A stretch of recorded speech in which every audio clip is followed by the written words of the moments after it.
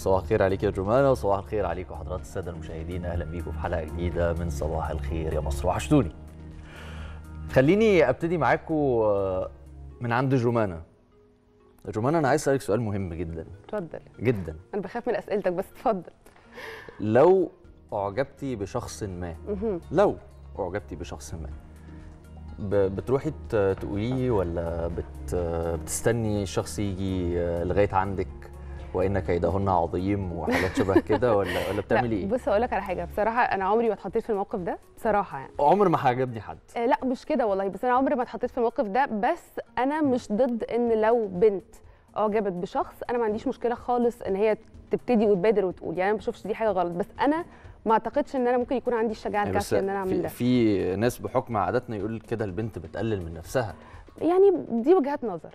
ما فيش حاجة صح على طول خطوة ولا ما حاجة هي- غلط يعني أنا دايما بقول العادات والتقاليد اللي عملها بني آدمين فيقدر. يغيرها بني آدمين. بالظبط. لكن عادة يعني لو هتكلم بقى لو معجبة مثلا بفنان أو بشخصية ما وهو موجود قدامي للأسف بقلب آه، كائن مش رخم بس بتكسف جدا لدرجة إن ممكن يعتقد إن أنا شوية مغرورة.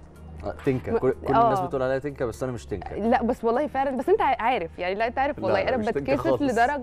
إن أنا ما بتكلمش خالص وبفضل قاعدة ساكتة فالناس تعتقد إن أنا شوية يعني آه، مغرورة لا مش مغرور أنا شكراً. يعني بس شهادتي هتعمل إيه مغرور. بقى؟ أنا أنا بقول على طول أنا ده. بقول على طول يعني أقصر طريق بين نقطتين الخط المستقيم صح هضيع وقتي واضيع وقت البشرية في إيه بس انت عارف إن في. كمان دراسة بتقول إنه نسبة غباء البني آدم بتزيد لما بيتكلم أو بيتعامل مع شخص هو؟ معجب بيه أنت مع الدراسه دي ولا لأ ياه جدا جدا جدا طب لخبطة وعرق ولخفانه لسان بس في الآخر. ما بتضيعش وقت لو الموضوع مش. يعني مش هيجيب نتيجة بتبقى عرفت إن الموضوع مش هيجيب نتيجة وبتبتدي يعني تتحرك في طريق آخر لو الموضوع هيجيب نتيجة أهو صح تمام. أنا أتفق معاك. على أي حال يعني ده سؤالنا الموجود على صفحاتنا على فيسبوك وهو آه، إزاي بتظهر إعجابك لشخص أو لو أعجبت بشخص آه، بتظهر إعجابك ليه إزاي؟ ده سؤالنا زي ما قلت لحضراتكم اللي موجود على فيسبوك وأكيد مستنيين إجابات حضراتكم اللي هنستعرضها مع بعض في حلقة النهارده. صباح الخير والسعادة والهنا على حضراتكم جميعا. صباح الخير يا مصر. معانا كومنت لطيف جدا من أنا سكرة. أنا سكرة قالت صباح العسل يا أمارات وحشتونا وألف حمد لله على سلامتك يا جمانه وحمد لله على سلامتك يا. حسام.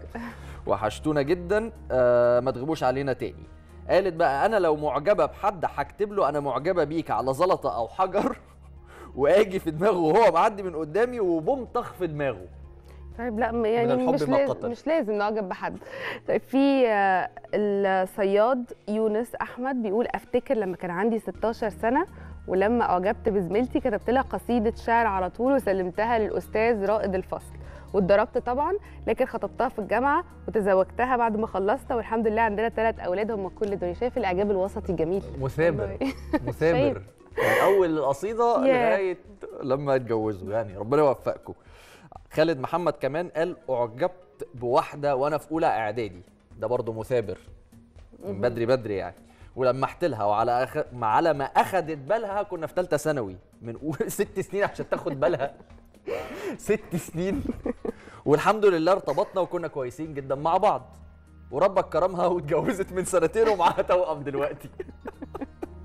طب ربنا يخليهم. لها في